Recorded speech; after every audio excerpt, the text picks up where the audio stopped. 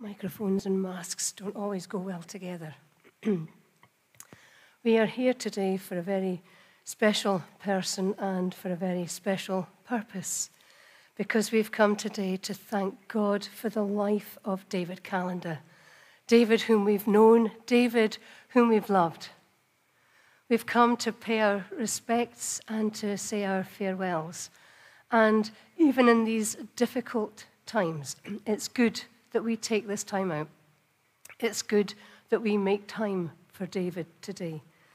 David had a long and full life. He was 91 years of age. And so we come knowing him in different ways. We've had relationships with him in different ways.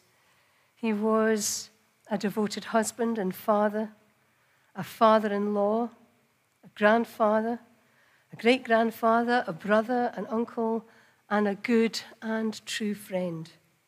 And we've come today to support those who were closest to David as well. We think particularly of his sons, Gerald and David. We think of their families. We think too of the grandchildren and great grandchildren, all of the wider family and friends. And we ask that God would hold them and keep them today and every day. And it's good and right that we're here in this place. For David was baptized here, David was married here, David was a member here, and more importantly, for someone like myself, he was an attender here. We have many members that we don't see except for Christmas or maybe Easter. David wasn't one of those kind of members. David would come when he was able. This is where he came to meet with God. And that's important too, because we're here in the sight of God today, the one who knows us better than any other. The one who knows how we feel and, more importantly, understands how we feel. So he's best placed for getting us through today and seeing us into tomorrow and leading us onwards and into the future. Now, we're not allowed to sing in the church at the moment, but we can listen to a hymn. There's a couple of hymns on the sheet, so we're going to listen to the first one, We Plough the Fields and Scatter, a hymn that talks of God's provision, but also what a brilliant hymn and a mark of respect for someone who was a grain merchant.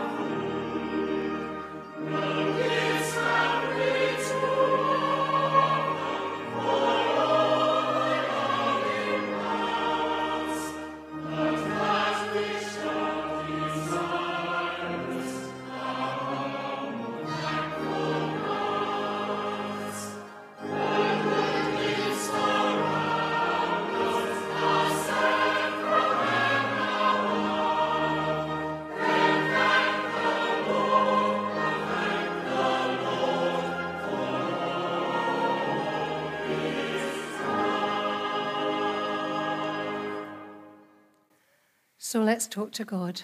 Let us pray. Loving God, you love us with an everlasting love, a love that is stronger than death and a love that reaches into eternity. And you promised that you would always be with us, and so we hold on to that promise today, and we ask that we would indeed know your presence. For you made us not for darkness and death, but for life with you forever. Help us now to listen to your word and take its reality to our hearts. Help us to understand the meaning of eternal life and to receive your comfort. Help us to feel your hand upon us and know the hope that we have in the Lord Jesus Christ. Amen. David lived a long and full life, and for that we are grateful. And yet it doesn't make today any easier.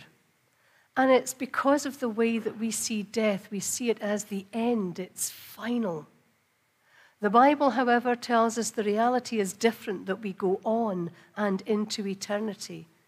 We've just celebrated Christmas, celebrating the birth of the Lord Jesus Christ, and it's his experience, the message that he taught us of love, the way that he touched us with God's love, the way that he died and rises again opens that gateway to everlasting life for all to follow. In fact, he goes further and says, I'll come and take you to myself. So I'm going to read two short passages from the scriptures just now. Both of them are the words of Jesus himself. And this is what he says All that the Father gives me will come to me, and anyone who comes to me I will never turn away. I have come down from heaven to do not my own will, but the will of him who sent me. It is his will that I should not lose even one of those he has given me, but should raise them all up on the last day. For it is my Father's will that everyone who sees the Son and has faith in him should have eternal life, and I will raise them up on the last day. Jesus also said these words He said, Set your troubled hearts at rest. Trust in God always, trust also in me. There are many dwelling places in my Father's house. If it were not so, I should have told you. For I am going to prepare a place for you. And if I go and prepare a place for you, I shall come again and take you to myself, so that where I am, you may be also. And you know the way I am taking, for I am the way, the truth, and the life. No one comes to the Father except by me. Peace is my parting gift to you, my own peace, such as the world cannot give. So set your troubled hearts at rest and banish your fears. Amen. It has been very difficult during this time of COVID restrictions for people to come and to come along to the funeral. But because of the technology that we have nowadays, it doesn't mean to say that not everyone can take part. For example, David's son, David, who is in Canada, can't be here with us today, but he can leave a message for us. So we're going to look at this just now. Good afternoon. It is with a heavy heart that I am joining you this afternoon for this celebration of my father's life. This celebration is a much different event from the one I envisaged due to COVID 19. The travel restrictions presently in place make it impossible for Linda and I to join you today. It is a somewhat strange experience to be delivering remarks but with no sense of audience reaction. Thank you to the Lowson Memorial Church and to the Reverend Dr. Karen Fenwick for the infrastructure to make it possible for this pre recorded message to be shared with you today. Recent medical advice had been that father was reasonably healthy for a man in his 92nd year, but that circumstances could change rapidly. So it proved on December 19, 2020.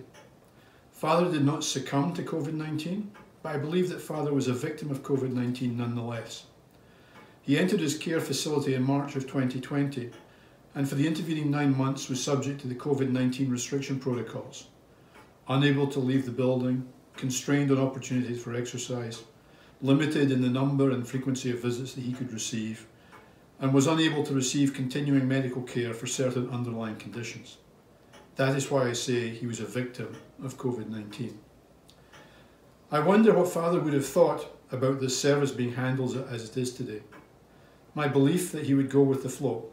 Father was a pragmatist and spent no time worrying about what might have been, nor what might have been preferable, but which was not achievable. He felt that it was up to each of us to keep departed one's memories alive by thought and remembrance. He felt that a funeral service was a step in the healing process and that it really didn't matter how it was conducted. My father was christened and married in the Lowson Memorial Church. His beloved wife Jean's funeral was held in the Lowson Memorial Church in 2014. So it is fitting that this service takes place at the Lowson Memorial Church, and we are grateful that it is possible despite the restrictions. Irrespective of what has happened, my father had a long and happy life. Father was the last of his paternal and maternal grandparents' grandchildren to pass, and so is the end of a generation of Callanders and Calders. We also believe that he was the last of his class of 1946 at Forfar Academy to pass. I've had the opportunity to publicly thank my parents for their love and support several times over the years. My wedding to Linda in 2011, Mother's funeral service in 2014, and Father's 90th birthday celebration in July 2019. I'd like to reaffirm the comments that I've made in the past. Gerald and I both benefited from supportive, caring, understanding parents whose relationship was an example to us both. We were both inspired and expected to succeed. No barriers were put in our way. We were given room to grow and mature. While my father was a father through my teens, as the years went by, the relationship developed into more of a friendship. He was supportive and loving, and he instilled a love of books and fine things. That's not to say that there wasn't the well established Scottish reticence to give praise or be demonstrative about affection. Above all else, he was a wonderful husband and father, and then a grandfather, and now a great grandfather. A fervent reader, Father had a love of poetry and fiction of all types. His musical efforts reflected more diligence than talent, but playing the piano brought him great pleasure. A keen Scrabble player, his memory of words caused many references to the dictionary, but most challenges failed and he usually won. He had an interest and knowledge of local history. Born in Forfar on July 21, 1929, father was the first son of David Callander, grain merchant, and Georgina Calder. Father had three older sisters and one younger brother. Father's siblings all predeceased him. Father attended Forfar Academy. On leaving school in 1946, Father went to Aberdeen University, where he graduated in 1951 with a Bachelor of Science, Agriculture. Father served his national service in the Royal Corps of Signals between 1951 and 1953 with the rank of lieutenant. Following completion of his national service, Father continued with the Signals Regiment in the Territorial Army, ultimately leaving in 1958 with the rank of captain. Father really enjoyed his army service, except when he finally met a better boxer and ended up with a broken nose. Following the conclusion of his national service, Father returned to Forfar to join the family grain merchant business, John Guthrie Limited, to work with his father and brother John. On October 28, 1954, Father married Jean Stewart Kidd, who had been a classmate at Forfar Academy. Mother predeceased father on June 12, 2014. Father and mother had two children, Gerald and myself. Gerald has two children, Louise and Russell. Louise and her husband Martin Arnold blessed Father's life with his two great grandchildren, Callie and Tommy. Father was an active member of the Forfar Round Table. Father was a long standing member of Forfar Golf Club and served as the president in 1979 and served on the committee for many years and assumed various convenership roles. He also created and gifted to Forfar Golf Club the pin and thread art version of the Forfar Golf Club logo which hangs in the clubhouse. Father joined Forfar Golf Club on January 1, 1940, and at the time of his 90th birthday, was the oldest member of Forfar Golf Club still, play, still paying a playing membership.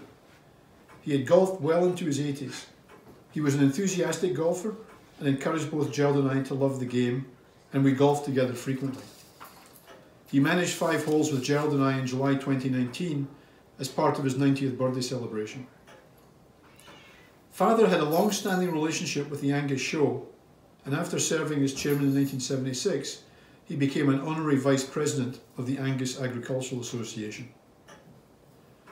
Over the years, father and mother travelled extensively, particularly to Canada and the US to visit with me, and those trips continued into retirement. Over the years, we visited 7 out of 10 Canadian provinces and 14 out of 50 US states. Father and mother were also frequent visitors to Tenerife and mainland Spain, so much so that father taught himself the Spanish language. Father and mother were active members of both the Forfar Bridge Club and the Brechin Bridge Club, and father continued to play bridge after mother passed. I've described certain attributes of my father. I may not have captured his essence. That begs the question what sort of man was my father? I've noted that he was a pragmatist. I don't recall him ever bearing a grudge or treating anyone with disrespect. He gave without expectation of return. He was kind and had a good sense of humour. As a grain merchant, he knew that there were both good and bad seasons, as the harvest varied, and that one should plan accordingly. What was my father's philosophy of life? I believe he had at least two, which he mentioned frequently. Firstly, take care of yourself as good folk are scarce. Second, while one enjoys today, things can change, and we may have to go back to old clothes and porridge. When I think of my father, I think of him as a successful entrepreneur, a golfer, a bridge player, a graduate of Aberdeen University, a voracious reader, a past president of Forfar Golf Club, a past chairman of the Angus Show, a captain in the Territorial Army, a keen traveller, a raconteur, a man blessed with a large family on both the Callander and Calder limbs of the family tree, and a man with a keen interest and knowledge of local history. But especially today, I think of him as my father, and I know that he is gone, to be kept alive in our thoughts and hearts. Since December 19, Gerald and I have received many emails and phone calls from friends and family. Some of the friends only met my father a few times, and in some cases only once. There was, however, a commonality of observations from these friends and family. They described my father as a gentleman with a constant twinkle in his eye. I can think of no better description of my father. He was a gentleman in the full meaning of the word, chivalrous, courteous, and an honourable man. In conclusion, Linda and I wish that we could have been with you today because we love my father and we will miss him. A funeral is about being with the people who will also miss him and know that his was a life well lived. Thank you. So, from David, who's over in Canada, to Gerald, who's sitting on the front row here. Gerald, you're allowed to take your mask off when you come up here.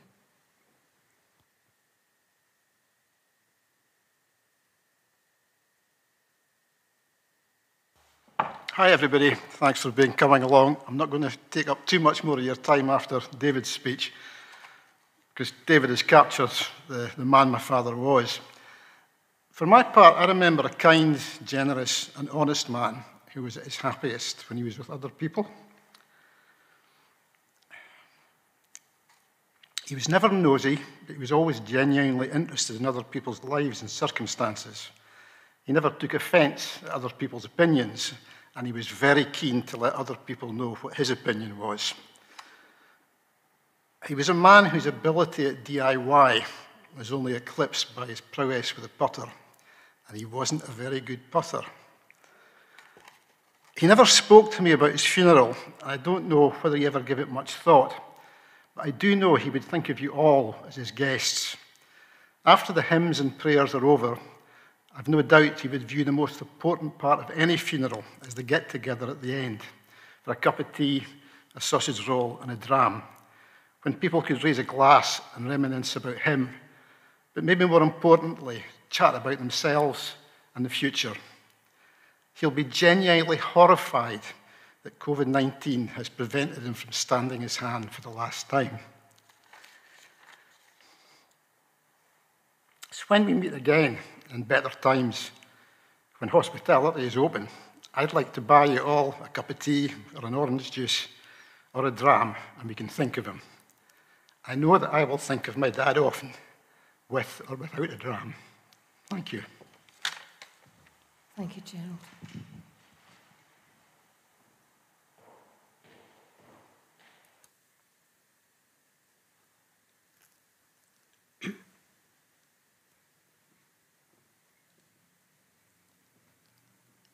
Let's talk to God once more. Let us pray. Loving Father, we thank you that you are the very author of life and the giver of victory over death. You deliver our eyes from tears, our feet from falling, and our souls from death itself. We thank you for the gift of your Son, the Lord Jesus Christ, who died and rose again, thus conquering death and sin for us and opening that gateway to everlasting life. Lord, we thank you for David, whom we've known and loved.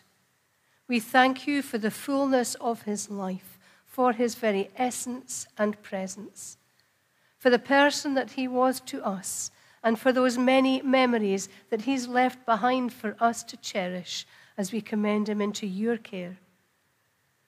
We pray for his family for his sons David and Gerald, their wives Linda and Wendy, grandchildren Louise and Russell, great grandchildren Callie and Tommy, the family on whom David doted and loved. We pray too for wider family and friends. We pray for all of those who have been touched by David. And we ask that as their hearts feel heavy and empty, so we ask that you would fill that gap, that they would know that they're in, being held in the hands of their Heavenly Father. May they know your presence and feel your love. Release them from any feelings of regret or guilt and help them instead to concentrate on the precious gift of love that they have shared. And as David lives on in your presence, may he continue to live in our hearts and our memories. We ask in Jesus' name. Amen. It was good to take time today, time for David. It was good to come together, even though we're sitting here like Johnny No Friends, having to stay two meters apart. It was good that we could take time to come and support David's family and come and pay our respects as well. And at the close of the service here, we're going to go and continue at Parkgrove Crematorium.